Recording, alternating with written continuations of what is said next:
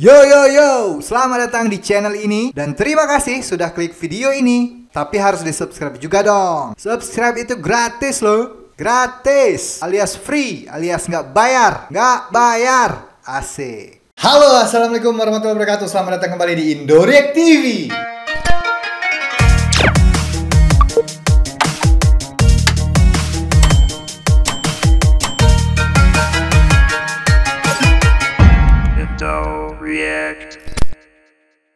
Seperti kita tahu semua ya, Liga Malaysia akan segera mulai di tahun 2020 ini. Jadi di dalam Liga Utama Malaysia itu ada 12 klub atau 12 pasukan ya. Dan kedua belas pasukan itu sudah banyak mengeluarkan dana untuk transfer pemain baru dan import pemain baru ya.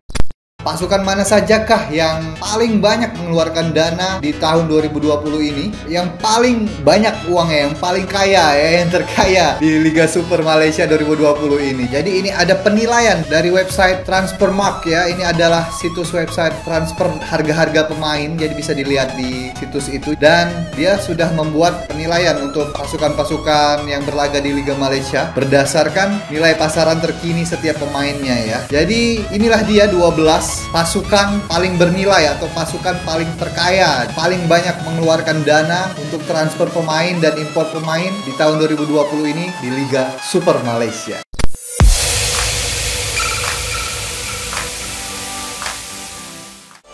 PDRM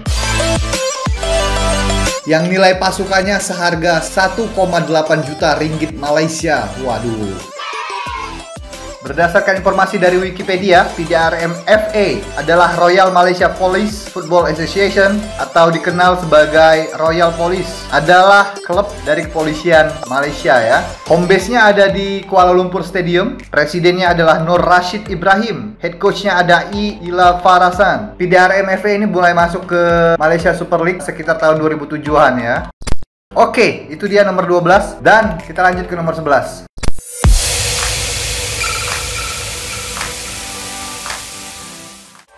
Di nomor 11 ada UITM FC dengan pasaran nilai pasukan 3,6 juta ringgit Malaysia. Wah, luar biasa ya. UITM FC atau University Teknologi Mara Football Club adalah klub Malaysia yang berbasis di Shah Alam, Selangor, Malaysia ya. Klub ini didirikan tahun 2008. Homegroundnya adalah UITM Stadium ya, dengan kapasitas 10.000 seat. Ini adalah klub bola milik University Teknologi Mara ya. Presidennya sekarang Abdullah Muhammad Said, head coachnya adalah Frank Bernhard. Dan sekarang pasukan ini ada di top 12 ini ya, dengan nilai 3,6 juta ringgit Malaysia. Wow. Kita lanjut ke nomor 10.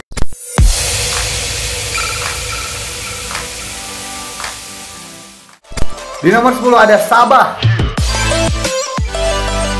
Dengan pasaran nilai 4,1 juta ringgit Malaysia. Sabah FA adalah sebuah klub bola sepak profesional yang mewakili negara bagian Sabah, Borneo ya. Dalam turnamen sepak bola di Malaysia, markas dari klub ini Stadion Likas yang terletak di kota Kinabalu. Didirikan tahun 1963 ya, sudah 57 tahun umurnya Sabah FA coy. Dan banyak sekali prestasi-prestasi yang sudah diraih oleh Sabah FA dan Sabah FA juga dulu mempunyai pemain-pemain legend yang dikenal sampai sekarang ya. Waduh, mantap Sabah FA dengan nilai pasaran 4,1 juta ringgit Malaysia. Kita lanjut ke nomor 9.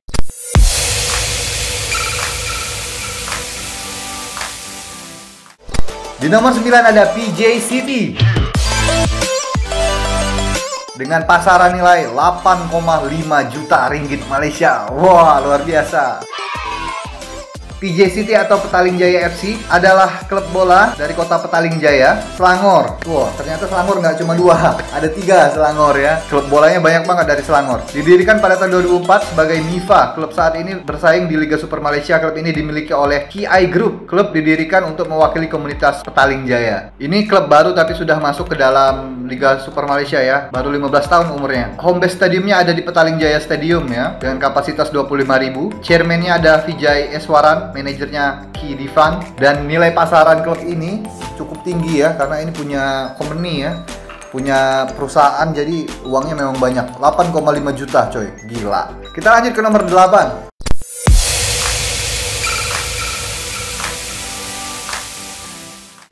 Di nomor 8 ada Velda United. Dengan nilai pasaran pasukan adalah 9,6 juta ringgit Malaysia. Wih, Felda United ini juga cukup terkenal ya di Liga Super Malaysia dan banyak juga pemain-pemain bagus yang ada di dalamnya. Felda United Football Club adalah sebuah sepak bola klub dari Malaysia yang dimiliki oleh Federal Land Development Authority atau Felda tim yang bermain di Malaysia Super League musim 2015 setelah berhasil juara 2 di 2014 Malaysian Premier League. Oke, siap. Felda dibentuk pada tanggal 19 Januari 2007 untuk berpartisipasi dalam 2007 Malaysian Fame Club. Tun Abdul Razak Stadium adalah sebuah stadium sepak bola di Bandar Tun Abdul Razak Jengka, Pahang, Malaysia ya. Saat ini digunakan sebagai home base-nya ya. Presidennya ada Anwar Malik, manajernya Muhammad Nizam Jamil dan nilai pasarannya mencapai 9,6 juta ringgit Malaysia. Wih, itu dia nomor 8. Kita lanjut ke nomor 7.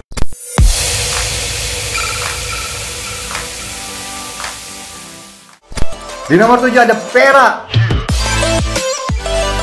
dengan nilai pasaran 11 juta ringgit Malaysia. Wih, di Perak FA juga di tahun 2020 ini banyak sekali mengimpor atau transfer pemain ke dalam klubnya. Jadi wajar lah kalau dia mengeluarkan uang yang cukup banyak ya, sampai 11 juta nilainya. Dan informasi sedikit dari wikipedia.com, Perak Football Association atau Perak FA adalah tim sepak bola profesional asal Malaysia yang kini bermain di Liga Super Malaysia. Berdiri tahun 18 April 1951, home base-nya ada di Stadion Perak ya. Dan banyak sekali sudah Perak FA ini mendapati trofi-trofi atau penghargaan-penghargaan dan statistik yang bagus ya karena Perak FA juga adalah salah satu klub besar di Liga Super Malaysia ya dengan nilai pasaran adalah 11 juta ringgit Malaysia. Mari kita lanjutkan ke nomor 6.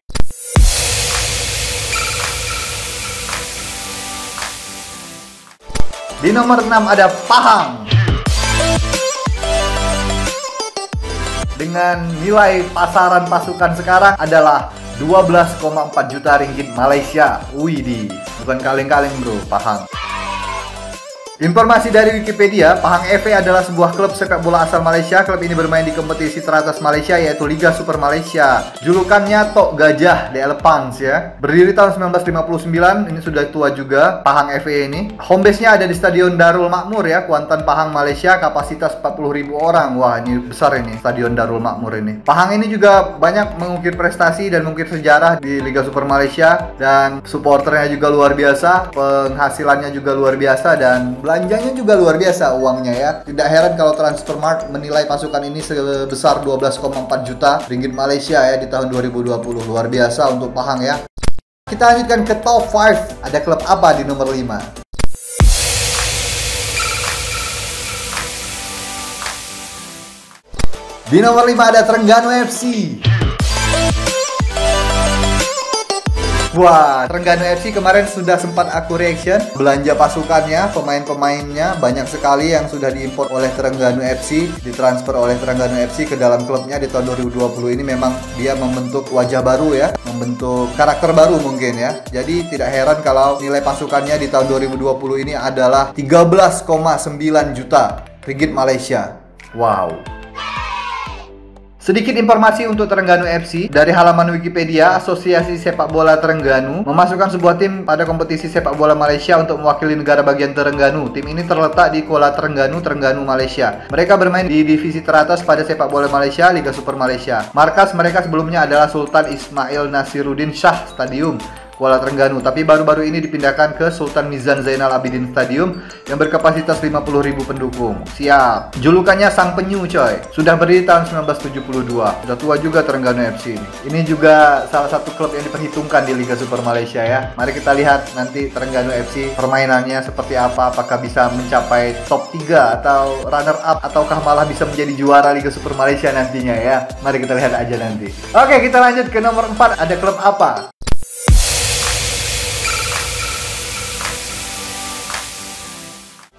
Dan di nomor 4 ada klub Melaka United.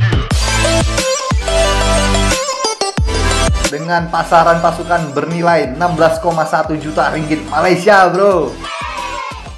Gila. Gede banget 16,1 juta Malaka ya. Malaka ini juga adalah salah satu klub besar di Malaysia jadi wajar saja dia mengeluarkan 16,1 juta di tahun 2020 ini ya. Sedikit informasi tentang Malaka United dari halaman Wikipedia. Malaka United Soccer Association adalah klub bola dari Malaka ya yang sudah didirikan tahun 1924. Ini juga adalah klub yang tua juga dari Malaysia. Home base-nya dulu adalah Hang Tua Stadium sebelum berpindah ke Hang Jebat Stadium sekarang ya di Paya Rumput Kerubung, Malaka. Tahun 1924 namanya adalah Malaka AFA dan dari tahun 2013 sampai sekarang namanya diganti dengan Malaka United. Banyak historinya dari Malaka United dan banyak juga prestasi-prestasi yang sudah dihasilkan oleh Malaka United ya. Jadi wajar kalau dia ada di nomor 4 di deretan 12 klub paling mahal, paling kaya dan paling banyak mengeluarkan dana di tahun 2020 ini. Dan kita lanjut ke top 3.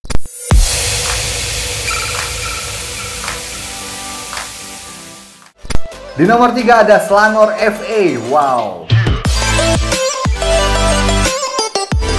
Dengan pasaran nilai pasukan 16,6 juta. Waduh, gila.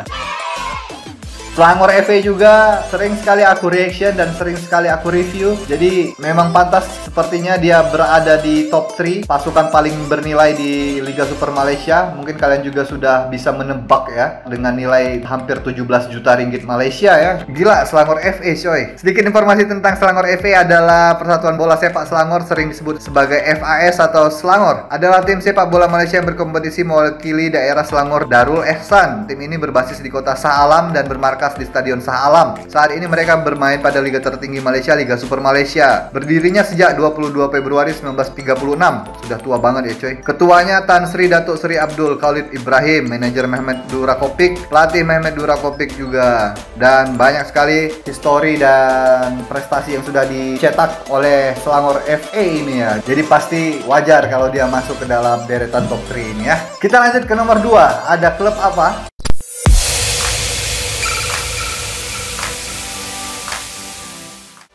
Di nomor 2 ada Kedah. Kedah FA dengan nilai pasaran pasukan sebesar 17,2 ringgit Malaysia. Memang agak-agak tipis ya dengan Selangor FA tadi. Selangor FA 16,6 juta, Kedah 17,2 juta. Tapi wah luar biasa Kedah ini banyak juga transfer pemain dan membeli pemain-pemain import untuk 2020 ini. Sepertinya Kedah sangat ingin sekali memenangkan kompetisi Liga Super Malaysia di tahun 2020 ini ya mantap. Jadi ada sedikit informasi tentang Kedah FA dari Wikipedia. Kedah FA itu mewakili kota Kedah ya. Tim ini juga dikenal dengan julukan hijau kuning kenari coy. Berdiri tahun 1924 dan ini adalah klub yang sudah tua juga. Home base-nya ada di Stadion Darul Aman, Alor Star, Kedah, Malaysia. Kapasitas stadion itu ada 32.387 dari Wikipedia. Informasi dari Wikipedia ya. Ketuanya Datuk Seri Haji Azizan Abdul Razak. Manajernya Datuk Haji Kazalidin, pelatih Wan Jamak Wan Hasan. Mungkin belum diupdate ini ya dari Wikipedia. Dan langsung saja kita ke nomor satu. Kalian juga pasti sudah bisa menebak nomor satu ada siapa karena hanya tinggal satu lagi klub bola yang belum aku sebutkan nomor satu.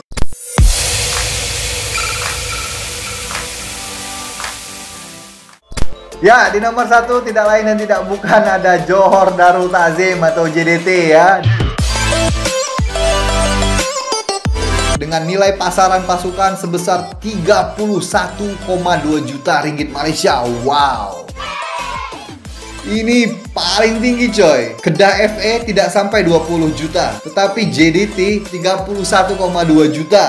Gila, ini luar biasa ini duitnya JDT ini ya. Memang dia mengeluarkan dana yang fantastis di tahun 2020 ini. Banyak sekali dia membeli atau mentransfer pemain-pemain yang bagus-bagus dan mahal-mahal ya. Dan kemarin juga dia sempat preseason di Dubai itu ya. Wah, itu uangnya juga banyak bro. Uangnya juga yang dikeluarkan banyak itu preseason ke Dubai itu ya. Jadi wajarlah kalau dia nomor satu. Stadionnya juga baru buat dan bagus banget ya. Taraf internasional coy. Jadi ini ada sedikit informasi tentang Johor Darul Takzim atau JDT. Dari halaman Wikipedia, Johor Darul Takzim FC atau JDT ya, adalah tim sepak bola profesional asal Malaysia yang berbasis di Johor, Malaysia. Julukannya adalah Harimau Selatan atau Southern Tigers ya. Berdiri 1972, 48 tahun lalu sebagai PKING FC 2019 berganti nama 24 tahun lalu sebagai Johor FC, 2013 6 tahun lalu sebagai Johor Darul Takzim FC atau sekarang dikenal dengan GDT FC ya. Stadion home base-nya dulu adalah Tan Sri Datuk Haji Hasan Yunus ya, sekarang sudah berpindah ke Sultan Ibrahim Larkin, stadion barunya dia yang mantap itu ya. Pemiliknya Tunku Ismail Sultan Ibrahim. Dan sepertinya semua orang sudah tahu banyak tentang GDT jadi tidak perlu kita panjang lebar tentang GDT ya. Jadi itulah tadi 12 klub bola Malaysia atau pasukan bola Malaysia yang bernilai fantastis dan sudah kalian lihat semua ke-12 pasukan itu siapa yang paling kaya dan siapa yang paling banyak mengeluarkan dana di 2020 ini adalah GDT ya, tidak lain dan tidak bukan ya. Ya, itu aja informasi yang bisa aku sampaikan untuk video kali ini cukup sampai di sini aja. Jangan lupa bagikan video ini ke teman-teman kalian, ke sosial media kalian Facebook, Instagram, Twitter dan jangan lupa juga aktifkan tombol notification bell di bawah agar selalu selalu update setiap ada video terbaru dari Indorik TV ya. Oke, untuk video kalian cukup sampai di sini aja. Sampai ketemu lagi di selanjutnya. Terima kasih untuk teman-teman yang sudah menonton video ini. Terima kasih untuk teman-teman yang sudah subscribe dan support channel ini dan akhir kata peace, love, respect from Indonesia. Ciao.